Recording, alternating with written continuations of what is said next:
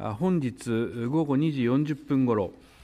鹿児島県屋久島沖において、米軍オスプレイがレーダーロストしたとの情報に接しています。スプレイが墜落したという情報が寄せられたということです。把握している情報と対応をお聞きします。政府としては被害状況の確認を行うとともに、人命の救助を最優先に当たる考えであります。